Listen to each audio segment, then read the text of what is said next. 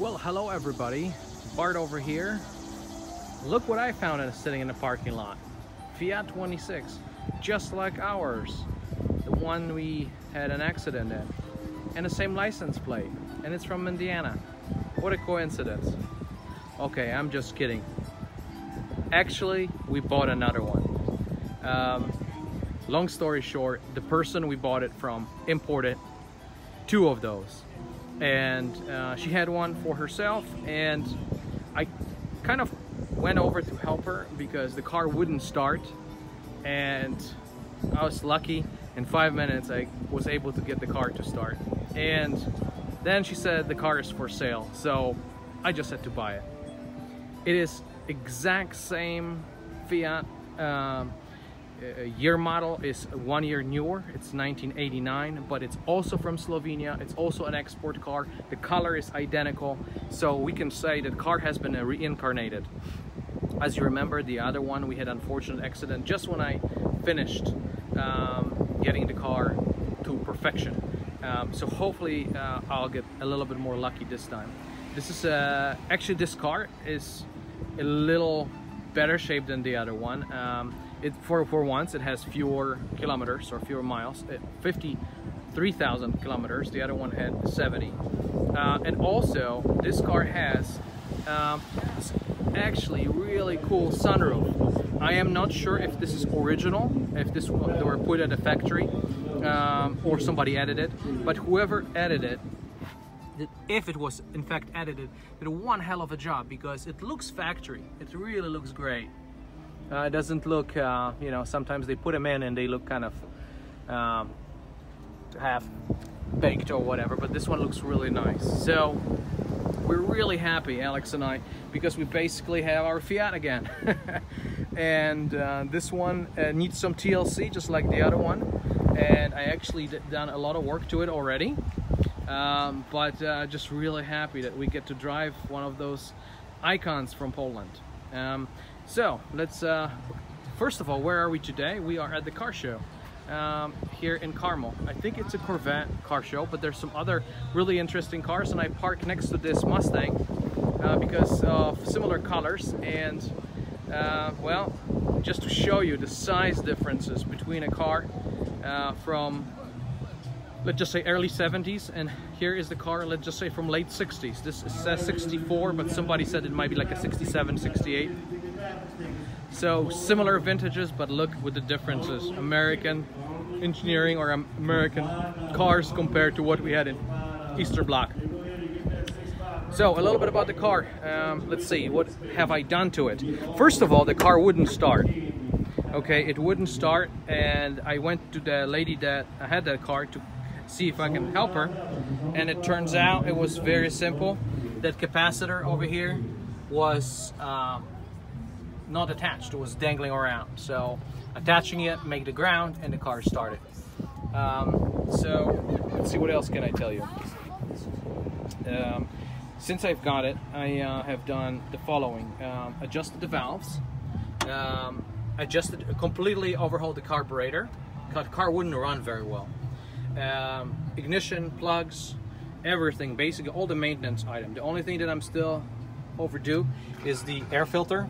I just don't have one. I have to bring one from Poland. And a uh, few minor things. Like you see, somebody has added this kind of uh, garden hose instead of the proper hose. But other than that, um, it's uh, it's been completely, um, I guess, refurbished and it's good to go. So engine compartment is, is finished. let's move forward.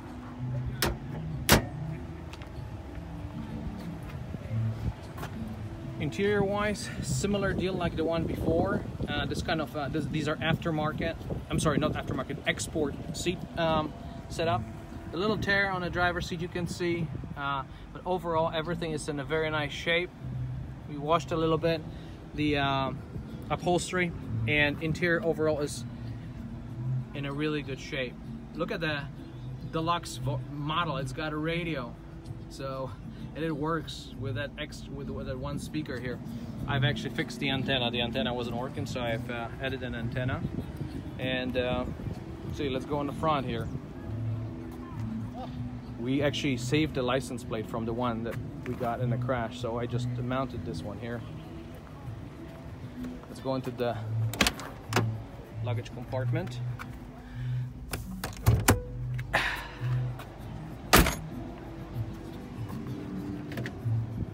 Not too much to see here, just a spare tire and the uh, yeah, some oil and everything is in a good shape. The car I think has been repainted, but not really any rust on it. It's actually very good shape and you can see the black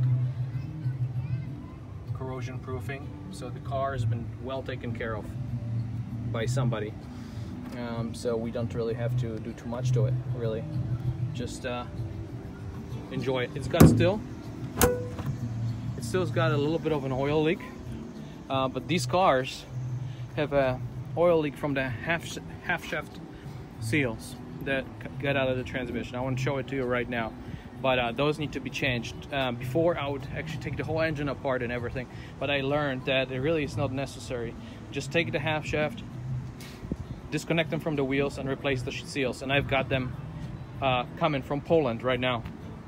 Uh, so in about a week or so, I'll change those and I think the car will be leak free because in the engine compartment, I see I can degrease everything and there's really no leaks here. Everything looks nice and tidy.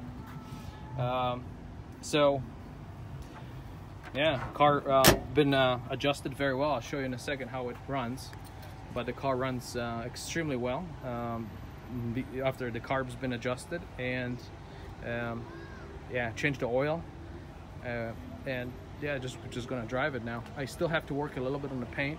Uh, the car has some spots here, like some water spots and everything. I gotta repolish the the car. Um, I've done the rear hatch. You see how that looks, but I need to work on the rest of the body. So the paint is a little bit, a little little work needed for that showroom condition, but the bones are here. And one thing I wanted to ask you guys, um, maybe for comments. I've got a little bit of a problem. I don't know if you'll be able to see it, but I got some scratches on the windshield, but they're from the inside. I don't know if there was a dog, a little dog in here that was scratching it, but anybody knows, how can I remove the scratches from the inside of the windshield other than re replacing a windshield, which I'm not gonna be able to find in the US very easily. I would really appreciate it.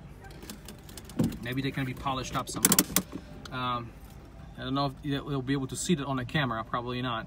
But when I'm driving, especially if the sun is in front of you, I can see those. So let's start her up. Um, see, let me show you. See, it's got 53,000 kilometers.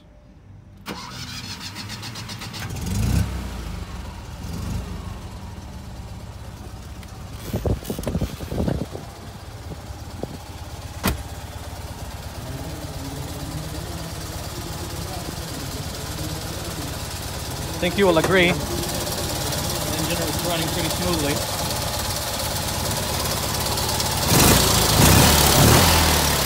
Accelerates nicely. Uh, when I got it, the car was a mess. Everything was kind of uh, screwed up on it. The timing was off. The carb was skunked up. It, you had to put a choke almost fully out just to drive the car. Uh, so there was, uh, yeah, it needed a lot of adjustments.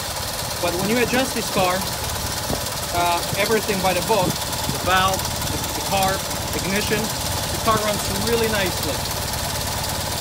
I mean, idles nicely, accelerates.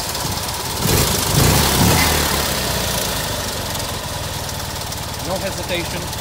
Uh, you know, so I think these cars really can be made to run very nicely. You just have to spend a little bit of time adjust everything. The points I've replaced, uh, I put a new condenser on it, new spark plug wires. Basically car's got a full service now. Well anyway, I hope that you are enjoying this video. Uh, I am uh, again very pleased that I was able to get back into the Fiat 126. I was really missing driving it. So uh, now I'm gonna walk the show and see what cars from the different era and from a different country look like. Horsepower difference is 10 times. Uh, but you don't see those very often. So everybody that walks to the show, actually they stop by this car first and ask what kind of car it is and everything, as they're just so unique. Thank you for watching. Send us your comments.